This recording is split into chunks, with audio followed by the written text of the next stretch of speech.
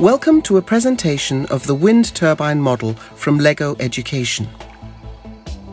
Wind turbines convert the wind's kinetic energy into electrical energy.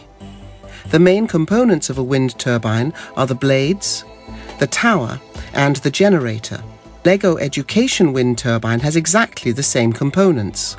Blades, a tower, and the e-motor which works as a generator.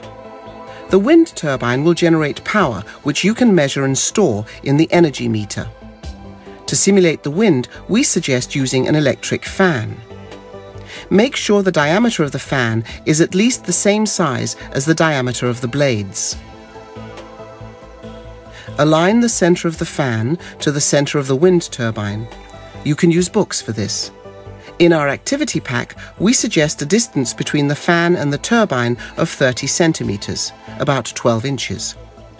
Now, let's investigate the wind turbine's ability to generate power. Turn on the fan, let the wind turbine pick up speed. With the wind turbine spinning, let's check out the measurements. As you can see, the wind turbine is now generating power, and the energy meter shows just how much. Move the wind turbine closer to the fan, halving the distance.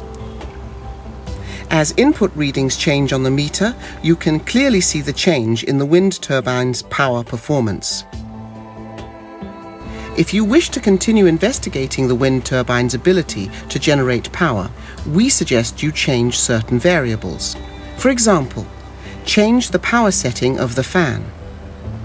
Change the wind turbine's angle to the fan Change the distance or height between the wind turbine and the fan. Change the number of blades on the wind turbine. Thanks for watching. Have fun!